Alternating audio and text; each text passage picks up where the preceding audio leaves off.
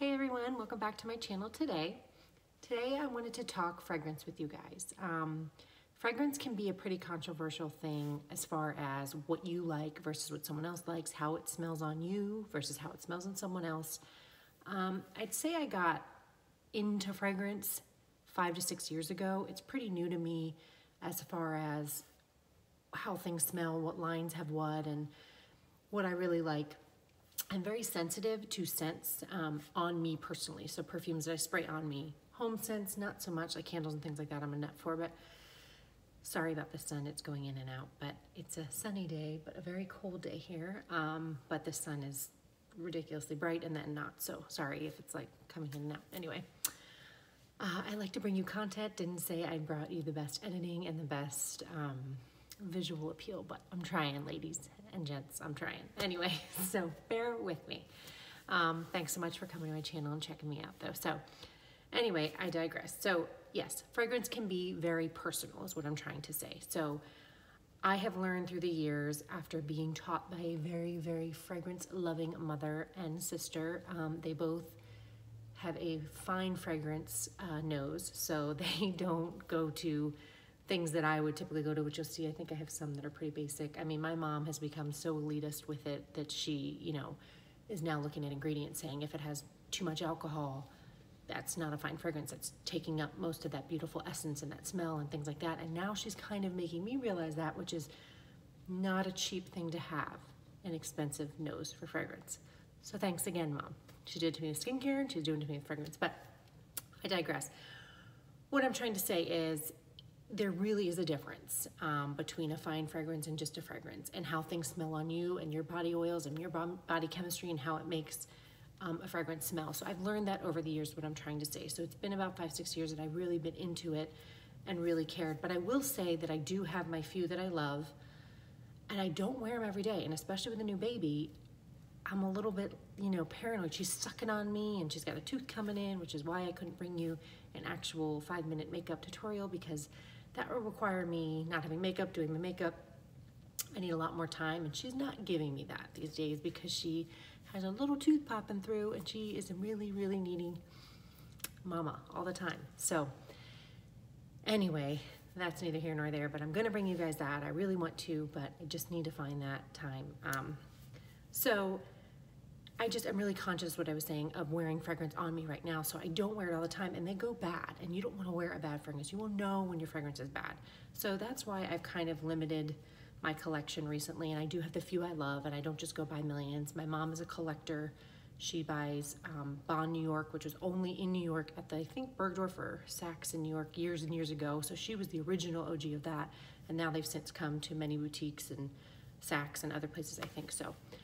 But I mean, you can go crazy. Fragrances today are beautiful, beautiful. I mean, things just put on your vanity that are painted, hand painted by artists, and you can go nuts with all these different lines and all these different. Um, who was the one? Kilian. My mom got us into. Um, she was insane and gifted us all a Kilian um, small fragrance at my sister's bridal shower, I believe. So, Kilian's another incredible, incredible um, fragrance house that you can, you know, explore to, and that's at Saks. So she's really, really, what I'm trying to say, has made me notice now fine fragrance. But I still love what I love, and I don't love the finest of fine, and I can, you know, dabble here and there where she wouldn't. Um, but the alcohol content really is something that I've noticed and she's told me about. And, you know, even with Jo Malone, who I love, she says, you know, and she loves it too. She collects them and she still buys them, but she says, you know, it is a shame because there is a lot of alcohol in alcohol content in that in their fragrance line, so it takes away from that actual essence. So she says, you know, when they charge for what it is, eh, but she still buys it because their collections are beautiful. And anyway, so let's jump into it because I have a few here that I really want to mention, and I think are just great starters if you don't really have any that are pretty unique. And like I said, I'm not super particular. I am super particular with my rose, so I will show you the best the only deep dark rose if you want and you are true you have to really love rose and I've been in search of it. And my mom and I went to this event back when I lived in California with her. And you know maybe I'll just start with that because it's the best. Okay so this is the Armani Privé the Rose de Arabe a, yeah, gosh I'm gonna butcher that. So it's D-A-R-A-B-I-E Arabe I don't know if it's air, I don't know what it is. But anyway, is that the most beautiful bottle you've ever seen? It is not cheap. It is high street and it is an investment. But I'm telling you, if you want the essence of rose, it smells like you are literally in a rose. I mean, I can't even explain it to you. But like deep and dark and sexy and just, I don't even know. Like I said, I'm not the best with, oh my God, with notes and everything, but it smells like you're literally burning a candle. Like it has that background of, of depth and like, you know, like a fire wood burning with the most gorgeous, like light robe, but uh, it's not even light because I don't want to say it because it's a pretty heavy fragrance because this is the um, Armani Privé line, so that's higher potency and much more strong, but it is incredible. And like I said, I'm sensitive fragrance with this I can wear and I feel, I don't know, just like almost elevates my look. Like I wear it when I want to dress up and feel, you know, I, it's just, I don't even know. I can't, it's so elegant, I guess is what I want to say. Go smell it. It's at Saks, I think in Neiman. I think Neiman is where I got it, so I don't know, but check it out, Neiman Marcus. It is absolutely incredible. And this is a 100 milligram, um, or milliliter, sorry, but this is just the best rose. If you're in search of a, a true, you know, it's not gonna be watered down or like rose water or light. This is a deep, dark, beautiful, heavy, sexy rose. This is the best. Love this fragrance. I think it's like truly my number one because I had been in search for so long of that true rose. And that is Armani Privé, like I mentioned. And it's just a beautiful bottle. I mean, to put that on your counter, it's just gorgeous. And its colors I love too. Tried and True Byredo Parfums are my fave. Um, this was my first one, I think two years ago, my mom gifted me for Christmas. And this is Gypsy Water, which is like the cult one everyone has and loves. And I love it. I like it. I shouldn't say I love it. I like it.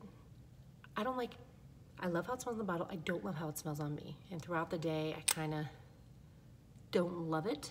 Um, and I don't know why. I mean, it smells very, you know, a little florally, a little sea salt like light, summery.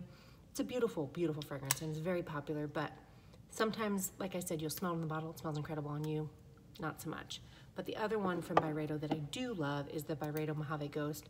And I love, yeah, I love how this smells on me. And this has more of a, again, a deeper, almost unisex masculine, I'd say, than the um, Gypsy Water does. And that's what I kind of resonate more to, um, or I gravitate, resonate, uh, gravitate more towards that masculine. So it has almost a floral, but it's it's a deeper, if I can say that, like a deeper kind of floral than the than the um, Gypsy Water does. This is a little heavier, but I like how this smells on me much better than I do the, the Gypsy Water. Then, so those are my Byredo. Those are the two I have. I had Bal d'Afrique, way too strong. I gave that to my mom. She likes that one, but I, that's just real masculine, real deep, and I just, it was not working with my body chemistry. This is a great investment because it is a all over body spray. Um, and this is the Tom Ford. He comes out with this, you know, the summer Soleil Blanc, which is the summer scent. And this is literally like summer sunscreen in a bottle, but it's a spray fragrance. So it just smells like the beach. It smells like sunscreen. It just makes you feel fresh, young, and youthful, and summery, and springy. And it's awesome. And this is so light, I, which I love about it. It's just like a body spray versus their perfume. So you just spray it all over. They have this in an oil too, but I don't typically love oils. Um, and this is just a beautiful fragrance, light for summer. I don't really wear it much in spring. I just do wear it all the time in summer, and I love it. And it's just a great, easy bottle you can travel with too. You don't have to worry. It's not glass, and it's much cheaper than any of the other Soleil Blancs in the, um, you know, like this kind of a bottle. This one's much cheaper, so they came out with this, and I was like, yes, because I've been wanting it, but I don't love the oil. My mom had that. I tried it, and I just was like, eh, kind of dissipates. It's an oil. But this is um, a beautiful, beautiful fragrance. And that's what I want to mention too, that when you do have the high alcohol content, the biggest issue is not only the scent, but it does wear off sooner because that alcohol is kind of eating up the fragrance.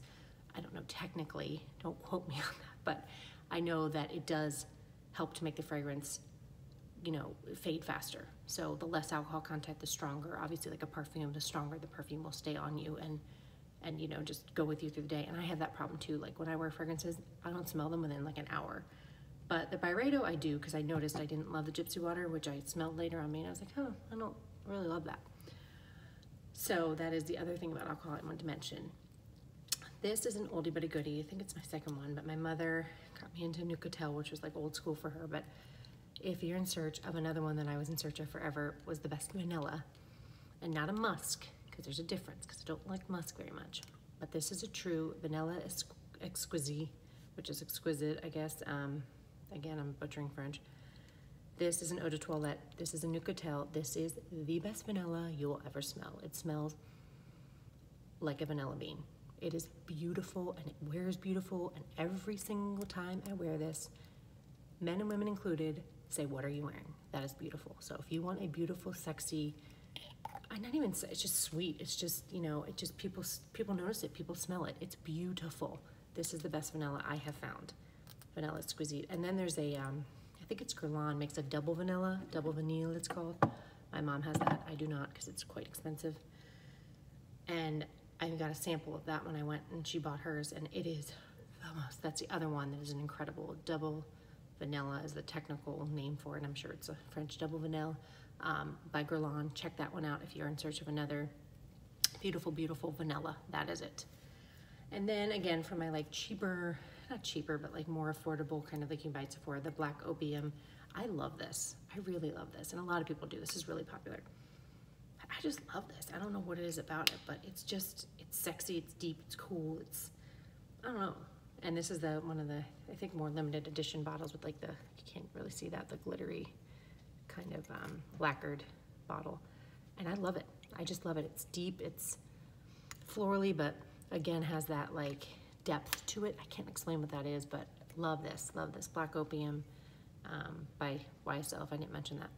Beautiful, beautiful fragrance. And it's, everywhere and it's affordable, so you can check that one out. This is new to me. I have never used a hair fragrance, and again, Diptyque, me, of course, love. Should have mentioned this in my Diptyque video, but I actually just bought it two weeks ago. And this is their Eau Rose Hair Mist. So it's like a hair fragrance. And you spray it, oh, it's so amazing. It's a beautiful rose.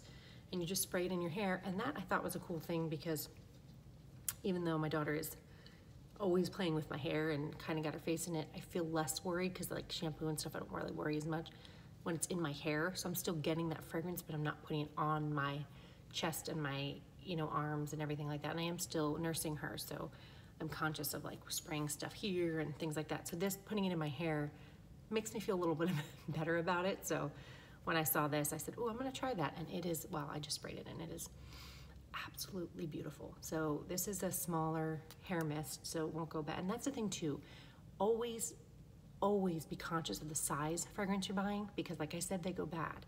So don't go and buy the biggest if you're not sure you love it because unless you're wearing it literally every day, they go bad very, not very quickly, but again, I'll, I'll notice something I haven't worn in a year and I'm like, oh my gosh, I've got to get rid of that now because it's gone bad. So just be conscious of the size you buy. I always buy the smallest. Like this Byredo comes in huge, huge ones. And even the stuff I love, love, love, I just don't wear it enough. But you have to know you. If you're gonna wear it a ton and you know you're gonna wear it every day, invest. But I'm like I'm saying, I switch it up. So I like to buy the smallest or the second smallest size. And that's why I love this. This is a great size is what I was getting to. And I can throw it in my purse and I can travel with it. And I'm still getting the fragrance, but I'm not spraying it on my chest, which kind of Still freaks me out. I don't know why. I'm sure it's fine. Anyway, new mommy, new mommy issues. but this is beautiful. Eau Rose by Diptyque. Um, and it's technically called, what is it? Yeah, just hair mist. So it's beautiful. Check that one out. And then the newest one in my collection from Jo Malone, they just came out with another one that I think my mom and I are gonna go check out. But this is the Jo Malone Green Almond and Red Currant. My mom got it engraved for me with my initials. How beautiful is that? So stuff like that on your vanity, it's just special and it's beautiful. And my mom spoils me. Um, this I love, and I love the bottle, and I love this came with that um, all pink and green, which my daughter's nursery is very Palm Beachy, flamingos, palm print, um, just pink and green, everything. So when I saw this, I was like, oh, Mom! And then she ended up buying her the beautiful pink and green uh, ceramic candle for her nursery, which is adorable. So Anyway, this line is just beautiful in itself. Again, the packaging, but this red currant, I really do love. Green almond red currant is beautiful. It's um, a little more earthy, which I don't typically like, and I do love this. Florally with a little bit of earthy kind of grass clean spring. This is a beautiful spring fragrance. That's obviously why it probably came out in spring, but uh, between you and me, this is a great spring fragrance. So kind of transitioning. It's not too summery, beachy, like, you know, that sunscreeny, uh, cocoa buttery, you know, coconut smell. This is more like fresh green, um, blooming flowers, just very fresh spring. So that's, I would call this the ultimate spring fragrance. So go check this one out. It's beautiful. Um, Jo Malone, and this, just the packaging is just gorgeous too, which is also extra special when you can have special packaging. And then this one I will let mention too is an easy, um, I just got this in small because this is just my travel one, but this is the Amber Vanille by, um, the Amber Vanilla by Laura Mercier, and I love this. This is a, it's a pretty vanilla because it's not just vanilla, it has that ambery kind of deepness to it, and it's beautiful. And if I, again, was gonna recommend just a, a vanilla you can get your hands on that's affordable, I would recommend this. Um, Laura Mercier one, the Amber Vanilla. It's beautiful, and again, it comes in all sizes, so you can throw it in your purse. And this is my travel go-to fragrance that I'll just throw in my bag. And it's just a good all-around fragrance. Still beautiful, still light enough. Um, but again, you're getting that, that vanilla, which I love. Um, and then I will show you this one last thing that I started to do too, because I had an accumulation of these, and this is like literally not even close to how many I have, because I'm always trying new stuff. But I thought this was just a cute way to display um, a few of these little atomizers that I get as samples, and I have some much bigger samples in here. And this, I will say, helps me to try them more, you know, to put them on more. I'm not gonna go in a drawer, go in a box, or go somewhere where I have them stored. Um, if I have them out on my vanity with all my other fragrances, And I just found that this way works, you know, and I'll just grab them from here. And this one is the um, Byredo La Tulipe, the tulip. You can't see that at all, but La Tulipe is the next one I think I'll get in a full size because this one I'm loving and I wanted to try it. So I got the smaller sample one and um, not, this isn't the sample, this is one I think you can pay for this size. Um, this is just a 12 milliliter, but this is beautiful. La Tulipe is the other one that's like a great spring go-to, light florally. Um, so I've been trying that, but anyway, and then I have in here the Diptyque one. Um, which one is this?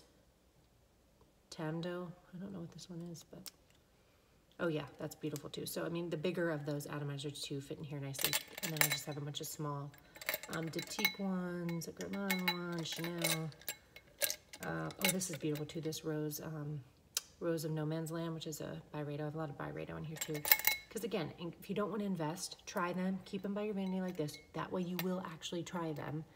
And then you know if you want to go and buy the full size. So that's just kind of my new little trick that I've tried because I have so many beautiful fragrances that I want to invest in, I want to try, but I'm like, I just, I just don't pull the plug because I said, you know, I have so many that I hardly even use, and especially with her, I'm using less and less of them. So those are my top, what, 10, yeah, almost about 10 fragrances that I think, you know, I've tested. And like I said, I'm picky, so, but it is personal. And I don't want to say, go get these, go, but go smell these and see if you like them because they're pretty, pretty good with exactly what I said, like the best vanilla, the best rose, like they're pretty on in, in that aspect. So go check them out. These are a few of my favorite ones. I have a bunch of other fragrances too, but, and these I think you can all get your hands on now. None of these are limited edition, I don't believe, no. So I think they're all available to you. And that's the thing, there's a few others I love, but they don't make them in that bottle or that scent anymore. Um, which is funny too, that Escada, I remember I used to get way back in the day, my mom got me, and they just repackage it. It's the same scent.